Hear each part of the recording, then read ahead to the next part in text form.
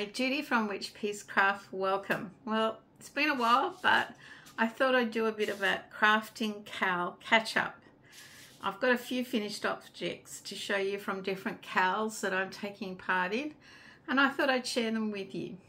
So, let's get started. First off the ranks, of course, is the Bod Hatapalooza, and this is the hat for last week. I think tomorrow comes out this week's. So I hesitated about making it because I have said the hats have to be fit for purpose.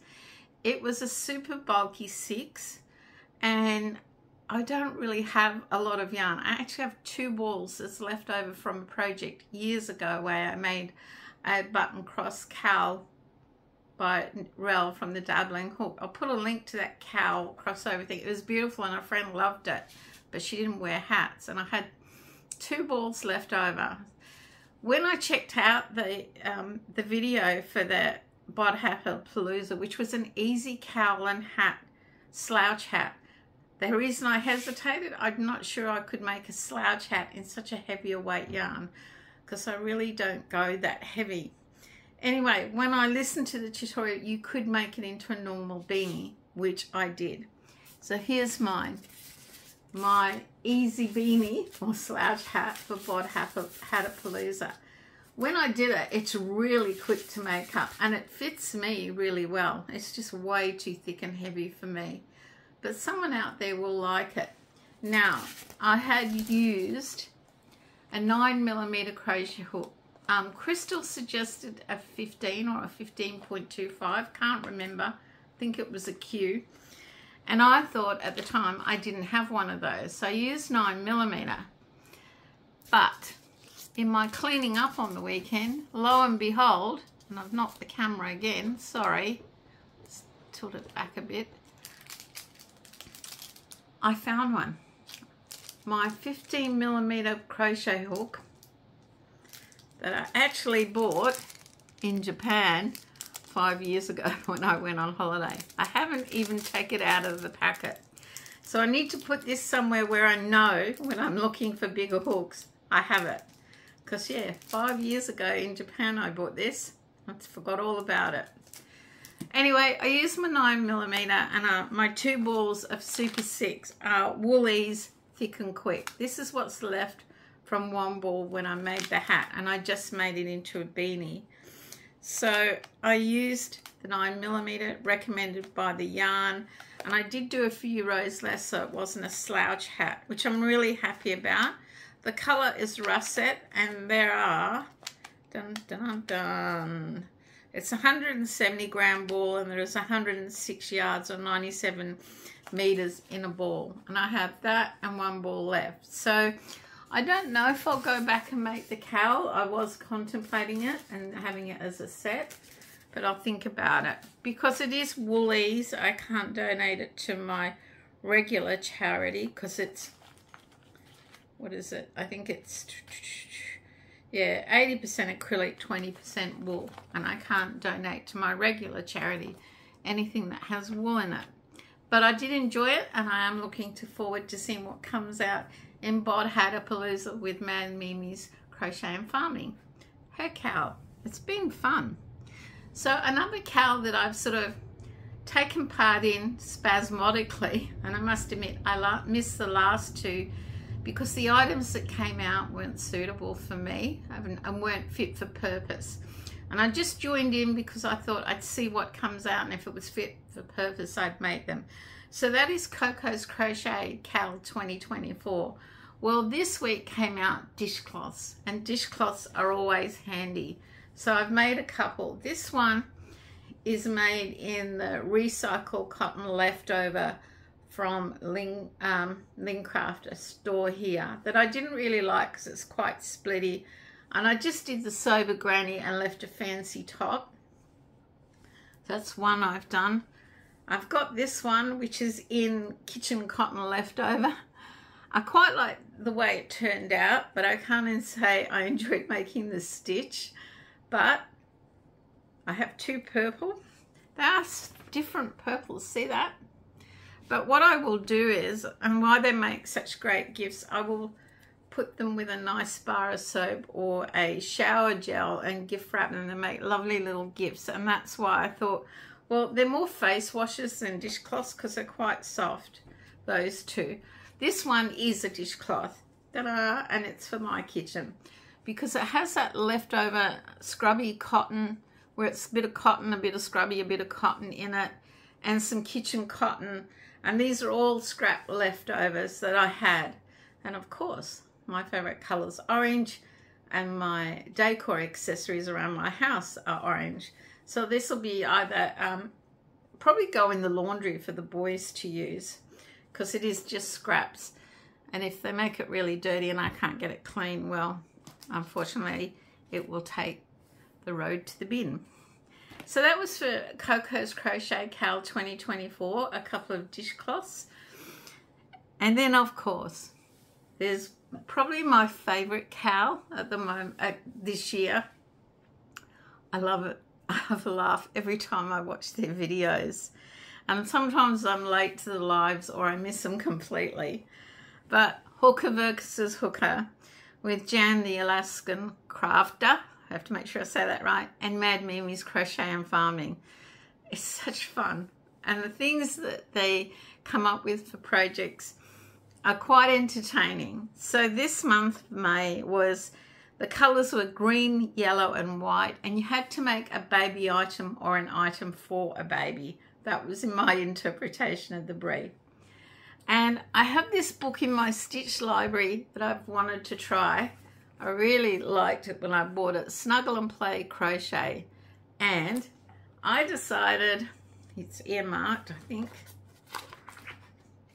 I would make, here he is, Luke the Frog Lovey. But I did it slightly different. I did a love, different lovey.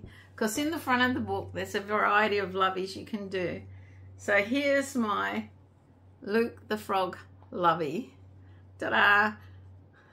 So that's Red Heart Super Saver. That is, I love this yarn that Janet Lepre sent me that I've been hanging on to and I'm using it for special projects. And the white is just Super Saver. But yes, green, yellow and white. It doesn't look yellow, but I'll show you. Here it is. It's a pale yellow. But that is my lovey, and he's not called Luke, he's called Freddy Frog, because that's a silly name for a frog, Luke, which happens to be, we're still getting lots of rain. Reeves and I both got woken in the night last night with this tap, tap, tap, stop. And we went outside, it was on a glass door. And at first we couldn't see what it was. And then down low, lo and behold, was a big green frog eating the bugs coming up against the glass. That's the third one we've seen this week. We haven't seen any for absolutely ages. Um, their population is decreasing because of the cane toads. Um, the cane toads, which are a pest, eat the tadpoles and not as many green frogs are being born, of course. I had one on the kitchen window on Friday night or on the kit outside on the rest um, the light was on, so it was catching all the bugs. And apparently, Thing, when he was down the back mulching, he saw one on the fence. So we don't know if we're all seeing the same one, but we have seen three green frogs. So there's Freddie the Frog Lovey for May Hooker to Hooker. I watched the replay of the live today for the projects picked for June. I can't remember all the colours. I think it's pink, yellow, orange, green, and teal. I'm not doing too bad. Five colours. And it's footwear, whether it be socks, slippers, but it's footwear. Which, at first I went, I hate knitting socks and I've never crocheted socks. I have crocheted some really quick slippers. But since being home, I've done a bit of research and I found a fun project. It's a paid for pattern sorry. I've got problem with my teeth still and I'm having work done. And sometimes I lose bits of stuff they leave behind. Sorry about that. Anyway, too much information. Um, yes, I found this paid for pattern that should be a bit of fun. and I'm thinking, can I fit all those colours in there? If I raid my yarn stash, I need to wait till Reeves can tell me if this particular colour meets the teal requirement. Because on the colour palette, it falls into the teal family, but I've never really called it teal. So I'm waiting for him. So keep an eye out for my June project. It could be light-hearted and fun. I always try and pick something I really enjoy. I definitely will make more loveys from the Snuggle and Play crochet book. I may even go on and make the full amigurumi toy. They are so well written, so put together with the four lovey patterns or five lovey patterns up the front that you can pick. It really was a good investment for that book. So that's that one. That's that one. So, the spring thing throw with one, the yarn addict. So we've completed week three. He was a little late getting week four out, but that's no big deal. It's out today. Hence why I need to do the video because I want to march on with my throw. It's getting big and it looks really good.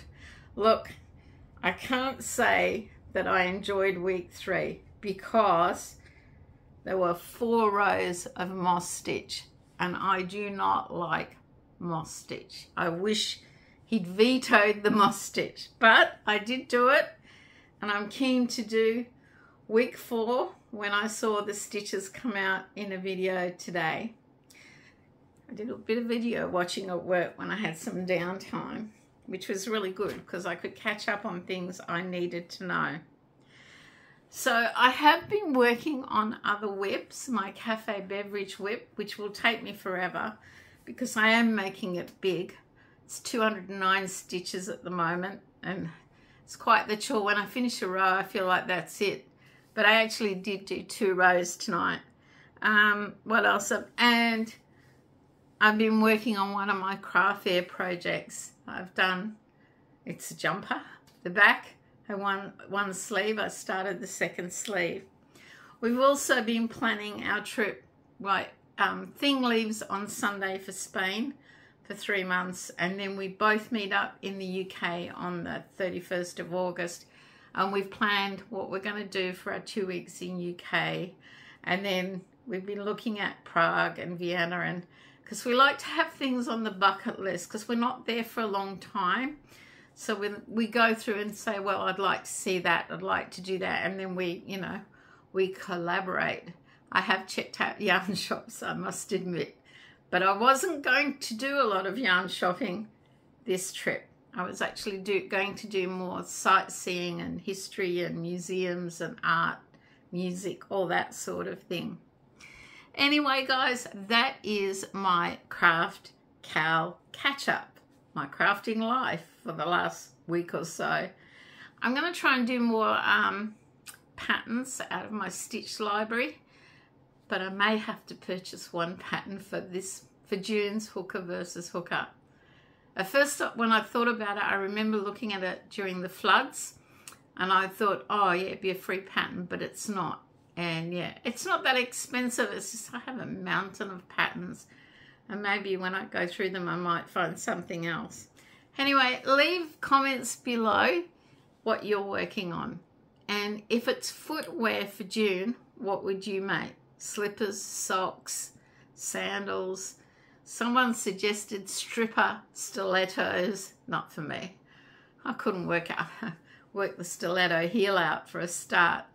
Mine's going to be some sort of fun project and I so that I enjoy it and have a bit of a laugh. But I highly recommend that when they go over to decide on who, when they do their video and live for who wins May, make sure you've got the notification on and watch it because it's always a great laugh. And I've really got no idea this time who could be the forerunning winner.